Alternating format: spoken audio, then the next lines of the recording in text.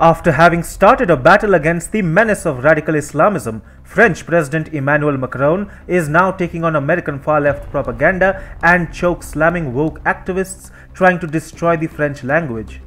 Historical French icons like Napoleon Bonaparte were becoming victims of the American cancel culture. However, after having taken steps to protect French icons from deranged woke activists, Macron has now begun a campaign to save the French language. Macron's message is loud and clear. Far left gender neutral terms which seek to destroy the French language will not be accepted in France, and those spreading such nonsense will be identified for their madness.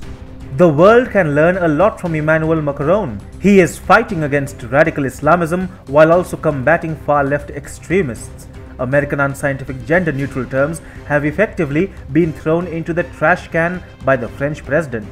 Hi and welcome. This is TFI Global, the foreign affairs and geopolitical analysis arm of the TFI Media Group. I am your host Sanbir Ranhotra and in this video we talk about the menace of far left gender politics and how Emmanuel Macron is defending France against it. President Emmanuel Macron is an emphatic protector of French culture, language and values. First, he handled Islamist extremism in order to protect French freedom, and now he is pushing back against the woke derangement coming directly from the United States of America. And with the far left puppet Joe Biden in power in the Oval Office, Macron is bluntly telling the White House Paris is not going to let the woke culture infiltrate into France. France's education ministry issued a ruling last week which has banned schools in the country from using gender neutral spellings Macron's France believes that such spellings are a threat to the French language and must be weeded out. This again is a message to the American woke propaganda. France will not fall for left extremism that promotes gender activism at the cost of destroying culture and language. In French language grammar, nouns take on the gender subject, but preference is given to masculine references over feminine references. This, of course, enraged left extremists who take inspiration from American propaganda. So, they introduced midpoints in written language to include both male and female references. This has, however, made French hard to learn, with differences in written and spoken words. French authorities were worried that such gender neutrality in the French language would have driven people to learn English that doesn't gender its nouns, but Macron has torpedoed such attempts to hurt the French language. Macron's attempt to protect the French language is a part of his battle against Islamo-leftism coming from American university campuses. French politicians categorically point out how American university campuses propagate ideas that blur the line between leftist propaganda and radical Islamism. Macron understands how far left ideologues in American universities try to legitimize radical Islamist and extremist orthodox practices in the garb of leftist propaganda. The Macron administration has rejected such American Islamo leftism.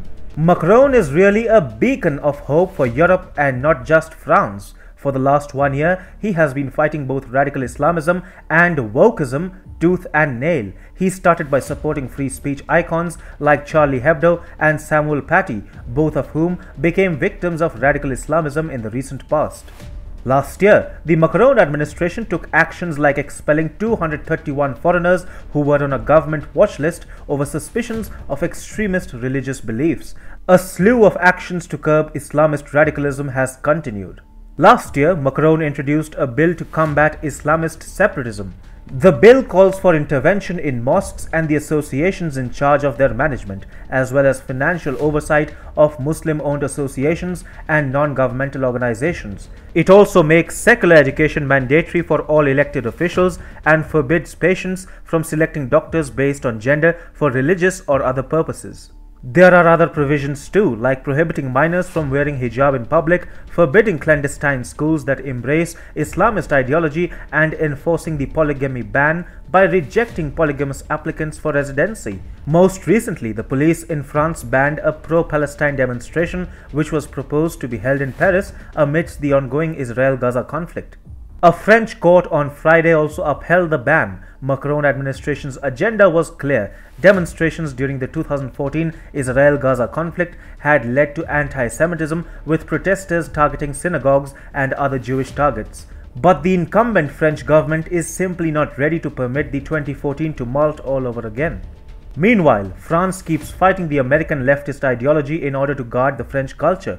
On the bicentennial death anniversary of Emperor Napoleon Bonaparte, for instance, Macron refused to succumb to cancel culture, a reference to the American leftist movement that cancels historical and iconic figures from public memory due to ideological differences.